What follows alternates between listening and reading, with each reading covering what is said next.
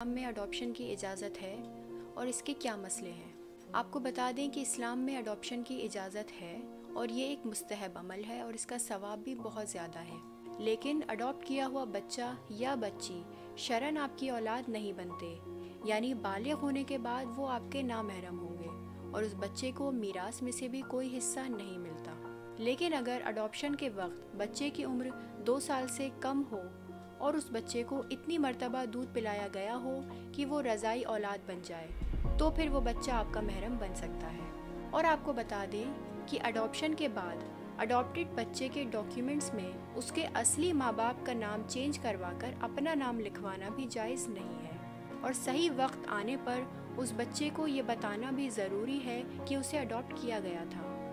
और अगर उसको बताना मुमकिन ना हो तो या तो इस बात को कहीं पर रिकॉर्ड करवा दे वरना अडॉप्शन का किसी को गवाह बना दें।